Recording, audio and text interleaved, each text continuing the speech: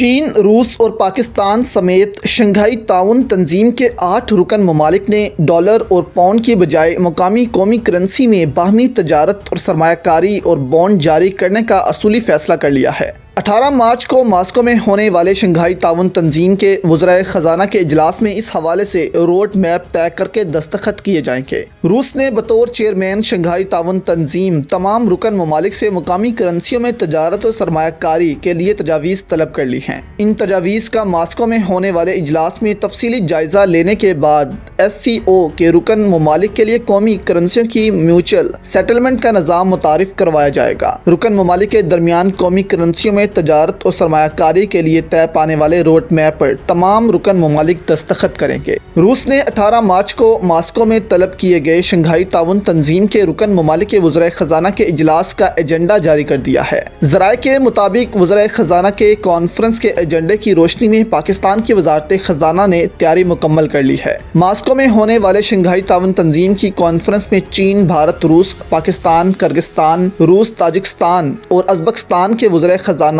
وزارت خزانہ اور مرکزی بینکوں کے نمائندے شرکت کریں گے۔ اس کے علاوہ ایران، افغانستان، بیلاروس اور منگوریا، شنگھائی تعاون تنظیم کے مبصر ممالک ہیں، جو کہ تنظیم کی باقاعدہ رکنیت کے خواہاں ہیں۔ علاوہ ازی ارمینیا ترکی، سری لنکا، نیپال کمبوڈیا اور ازربائیجان شنگھائی تعاون تنظیم کے ڈائیلاگ پارٹنرز ہیں۔ ذرائع کا کہنا ہے کہ اگر شنگھائی تعاون تنظیم کے رکن ممالک کے درمیان تجارت اور سرمایہ کاری ڈالر اور پاؤنڈ کی بجائے قومی کرنسیوں میں شروع ہو جاتی ہے، تو یہ ایک بڑی پیش رفت ہوگی۔ اس سے رکن ممالک کی قومی کرنسیاں بھی مضبوط ہوں گی اور باہمی تجارت اور سرمایہ کاری کو بھی فروغ ملے گا، جس کے بعد ان ممالک کا ڈالر پر انحصار بہت کم ہو جائے گا۔